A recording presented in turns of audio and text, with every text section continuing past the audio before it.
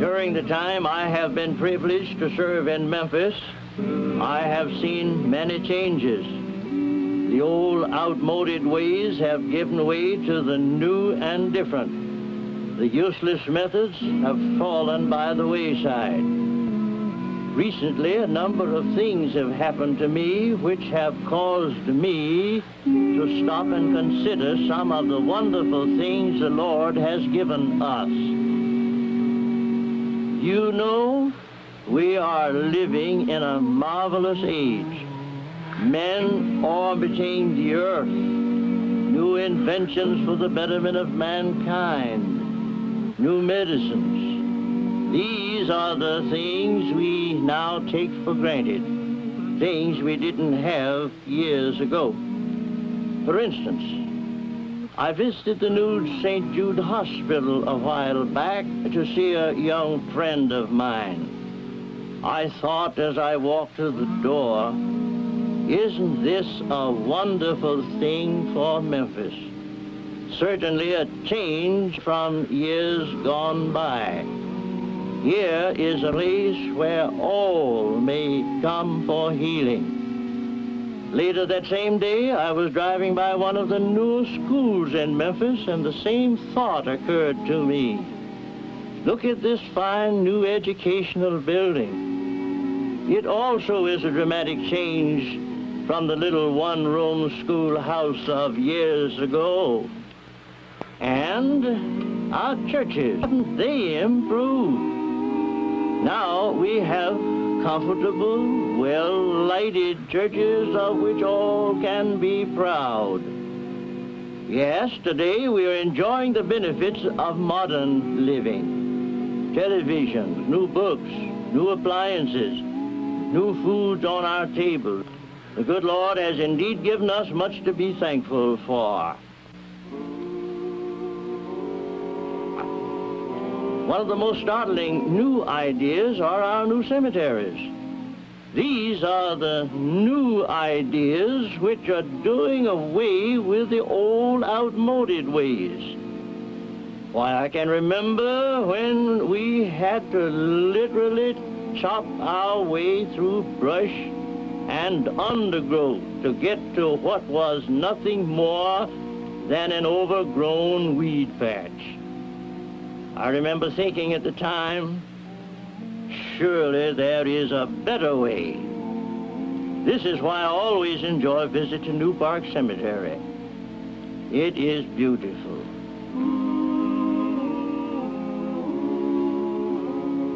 You know, a great statesman once said, show me the manner in which a nation or community cares for its dead, and I will measure with mathematical exactness the tender mercies of its people, their respect for the laws of the land and their loyalty to high ideals.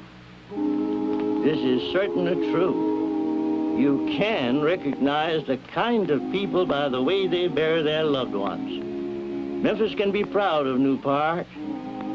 Recently, I was in their offices with a number of Memphis clergymen. Mr. Winston of New Park is explaining to us the new family protection plan. He said it was designed expressly so there would be no other charges at the time of need.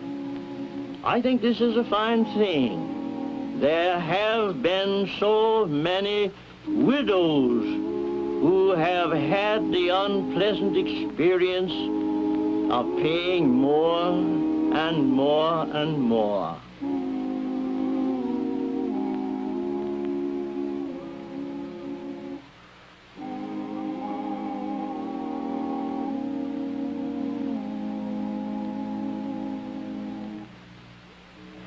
I'm Lila Jones, one of the widows referred to by Dr. Owen. The story I'm going to tell you is not a pretty one, but I hope it will prevent some other woman having to go through the heartache and disappointments that I went through. In 1952, my husband was killed in an automobile accident. It was not a pleasant thing to go through. But George, my husband, had prepared pretty well, I thought. He had provided as much insurance as we could afford at the time. He had written his will, and we had bought cemetery property. But it was right here that we were fooled. Immediately after George's death, I called to make arrangements and thought all the things at the cemetery had been paid for when we bought the grave spaces. This wasn't true, and I got the greatest shock of my life. First, there was the cost of opening and closing the grave. This actually exceeded the original price of the grave space. And the cemetery in which we had bought grave spaces had become just simply awful looking. Weeds everywhere, no upkeep. You know the kind, way back up in the country.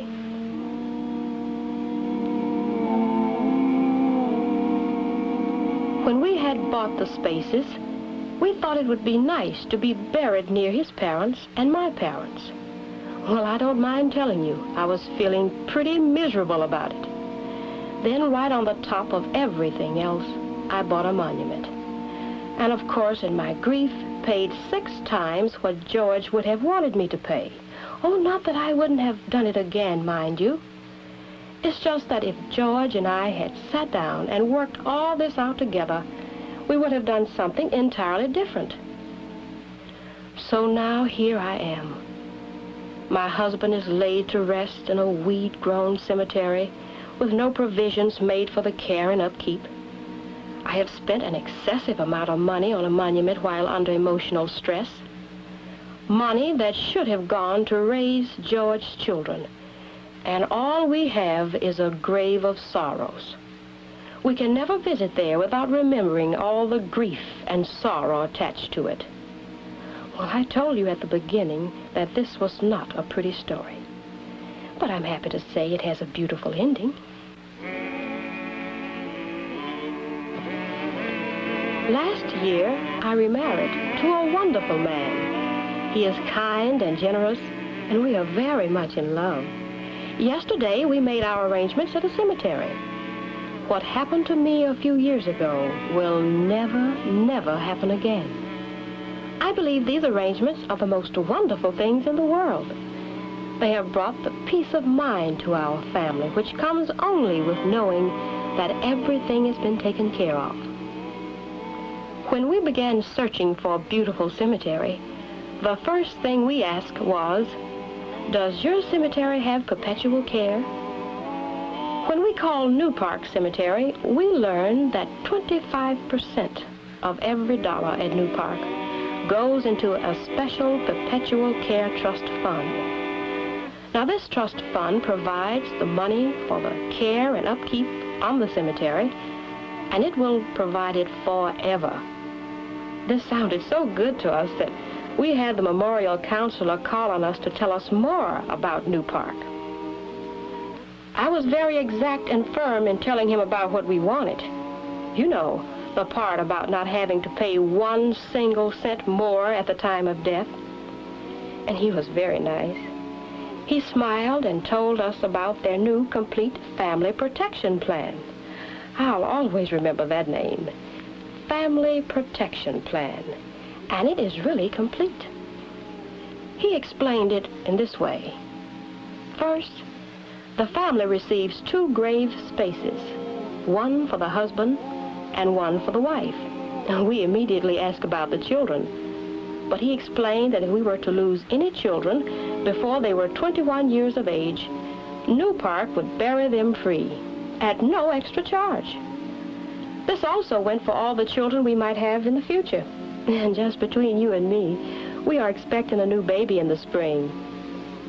When I asked about the opening and closing of the graves at the time of death, the counselor said that this family protection plan included the opening and closings, even for the children. And the most beautiful part of the plan is that we receive a family monument for our family estate. There will be no other cost. Everything is paid for. The counselor told us there is no other cemetery in the entire Mid-South area that has such a plan, where everything is completely paid for. I have heard some women say, we can't afford cemetery lots. Well, let me tell you from experience, you would have to afford it if it were to happen to you tomorrow. If the same thing happened to you as happened to me, you would have to buy it immediately. And you would have to pay cash. We like the new park plan because we can pay on easy monthly installments. And if anything happens to my husband while we're paying for it, the entire amount remaining to be paid is canceled. We wouldn't owe one cent more. Sometimes, you know, it takes a little courage to sit down and discuss cemetery property. But you'll be glad you did, just as I am. And I pray to God that in time, no woman will ever have to go through my experience.